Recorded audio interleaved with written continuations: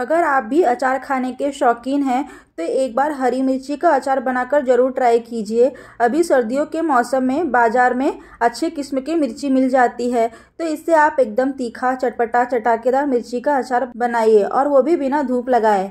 और सालों साल चलेगा तो इसे ज़रूर ट्राई कीजिएगा। हरी मिर्ची का तीखा, चटपटा अचार बनाने के लिए यहाँ मैंने लिया है 200 ग्राम हरी मिर्च। इस अचार के लिए आपको डार्क ग्रीन वाली हरी मिर्च ही लेना है। इस तरह की इसका अचार बहुत ही अच्छा बनता है। तो हमें लेना है डार्क ग्रीन वाली हरी मिर्ची इसे मैंने मार्केट से लाने के बाद दो तीन बार धो लिया है। साफ़ कॉटन के कपड़े से पोछ कर एक घंटे के लिए पंखे के नीचे सुखा लिया है। ये अच्छे से सूख चुकी है। ऊपर का मॉइस्चर नहीं रहना चाहिए। जब कभी भी हम अचार बना रहे हो तो मॉइस्चर से अचार ख़राब होने के चांसेस ज़्यादा रहते हैं। अब डंठल को हटा देना है।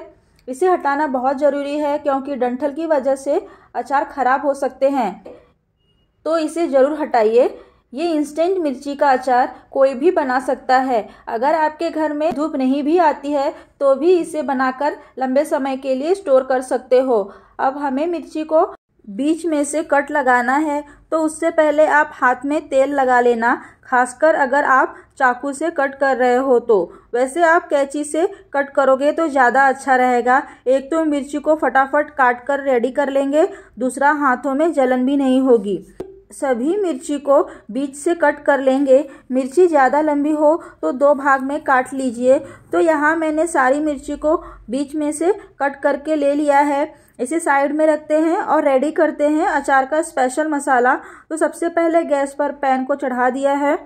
अब गैस की फ्लेम को हमें लो रखना है। अचार में लगने वाले मसाले को दो पार्ट में ड्राई रोस्ट करेंगे। तो पहले मैं डाल रही हूँ तीन बड़ा चम्मच राई दाल। अगर राई दाल ना मिले तो आप पीली वाली राई का इस्तेमाल कर सकते हो राई दाल की जगह पर। साथ ही डाल देंगे आधी छोटी चम्मच मंगरेला।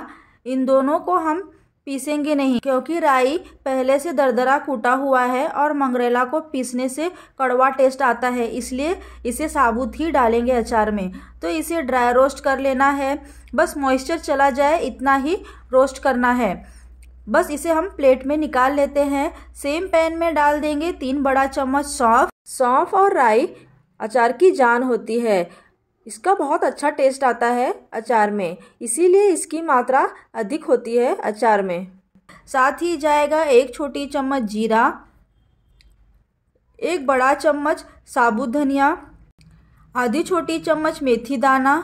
अब लो फ्लेम पर ही मसालों को हल्का हल्का ड्राई रोस्ट कर लेना है। बस इसे हल्का सा ड्राई रोस्ट करना है कि इससे मॉइस्चर निकल जाए। इतना ही ड्राई रोस्ट करना है। अच्छी सी खुशबू आने लगी है तो गैस को बंद कर देंगे। अब इसे एक प्लेट में निकाल लेते हैं। हल्का ठंडा होने देते हैं। अब ले रहे हैं ग्राइंडिंग जार। अब इस जार में ड्राई रोस्ट किए हुए सौंफ, धनिया, जीरा, मेथी को डाल देंगे। अब इसको दरदरा सा पीस लेना है। अगर आप कूट के डाल सकते हो तो कूट के डालो। कूट के डालने से अचार के टेस्ट में चार चाँद लग जाते हैं। मेरे पास कूटने वाला नहीं है तो मैं मिक्सी में पीस कर डाल रही हूँ। ये देखिए, पीस लिया है, दरदरा पीस लिया है। अब जिस पैन में मसाले को भुना था, उसी पैन में मैंने 100 एम सरसों का तेल लिया है और मीडियम फ्लेम पर रख दिया है गर्म होने के लिए। अब इस तेल को हमें धुआंधार गर्म करना है। इससे होगा ये कि सरसों के तेल में एक स्ट्रॉन्ग फ्लेवर होता है। एक स्ट्रॉन्ग खुशबू होती है सरसों की, वो निकल जाएगा। अचार को सरसों के तेल में ही बनाए तो टेस्टी भी बनता है और ज़्यादा दिन तक टिकता भी है। क्योंकि इसमें एंटी फंगल प्रॉपर्टी होती है। साथ ही अचार में सही क्वांटिटी में तेल होना ज़रूरी है, क्योंकि तेल प्रिजर्वेटिव का भी काम करता है। तेल धुआंधार गर्म हो गया है, गैस को बंद कर देंगे और तेल को ठंडा होने देंगे। गरम तेल बिल्कुल भी नहीं डालना है। जब तक तेल ठंडा होता है, तब तक अचार में मसाले मिक्स कर लेते हैं। तो हरी मिर्ची में सबसे पहले डालेंगे राई दाल और मंगरेला। फिर जाएगा दरदरा पिसा हुआ सौंफ। धनिया, जीरा, मेथी दाना, एक छोटी चम्मच हल्दी पाउडर। अचार में नमक थोड़ा ज़्यादा ही डालें, तभी अचार अच्छा भी लगता है। आधी छोटी चम्मच काला नमक, इससे अचार और भी स्वादिष्ट हो जाता है। अब अचार को मार्केट जैसा कलर देने के लिए डालेंगे एक बड़ा चम्मच काश्मीरी लाल मिर्ची पाउडर। आप इसके बगैर भी अचार बना सकते हो। इससे क्या है ना, अचार को बढ़िया सा कलर आ जाता है। अब इन सभी चीज़ों को अच्छे से मिक्स कर लेते हैं। ये अच्छे से मिक्स हो गया है। अब हमें लेना है तेल। ये हल्का गर्म है तो इसमें डाल देंगे आधी छोटी चम्मच हींग और इसे करना है तेल में मिक्स और इस तेल को हम इस मिर्ची के मिक्सचर में डाल दे रहे हैं। अच्छे से अचार को मिक्स करेंगे। ये बहुत ही टेस्टी बनता है और आपने देखा, बनाना तो बहुत ही आसान है। इस तरह बीच में कट करने से देखिए मसाले अच्छे से कोट हो गए हैं। अब इसमें जाएगा सिरका, जो कि अचार को ख़राब होने से बचाएगा, क्योंकि ये बढ़िया प्रिजर्वेटिव का काम करता है। मैं यहाँ इस चम्मच से चार चम्मच विनेगर डाल रही हूँ। आप कोई भी विनेगर डाल सकते हो, जो आपके पास हो। आपके पास विनेगर नहीं है तो आप उसकी जगह पर तीन नींबू का रस डाल दीजिए। साथ ही मिर्ची का जो तीखापन है, उसको भी बैलेंस कर देगा ये विनेगर। ये वही वाइट विनेगर है, जो हम चाइनीज़ फ़ूड में डालते हैं। अब इसे भी अच्छे से मिक्स कर लेना है।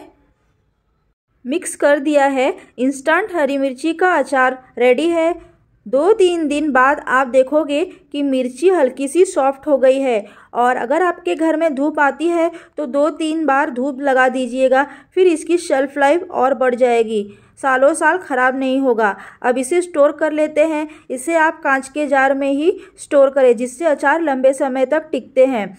इसे मैंने गर्म पानी से धोकर फिर धूप में सुखा लिया है। बिल्कुल भी नमी नहीं होनी चाहिए। अचार को भरकर इसे स्टोर कर लीजिए।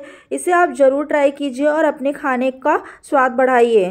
फ्रेंड्स, आपसे मैं रिक्वेस्ट करना चाहूँगी कि अगर आप मेरे चैनल पर नए हो तो प्लीज़ मेरे चैनल को सब्सक्राइब कर लीजिए और बेल आइकन को प्रेस कर दीजिए, जिससे आने वाली हर वीडियो की नोटिफिकेशन आपको मिलती रहे। मिलते हैं नेक्स्ट वीडियो में एक नई रेसिपी के साथ. Thanks for watching